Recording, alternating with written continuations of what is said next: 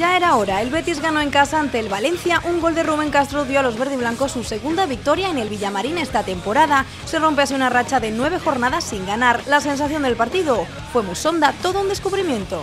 Ahora mismo para un entrenador es una alegría enorme poder defender a estos jugadores y sé que van a ir a más.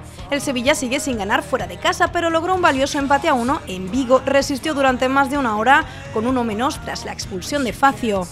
Ha habido dos partidos, uno en el 11 contra 11 y otro cuando hemos estado con un jugador menos.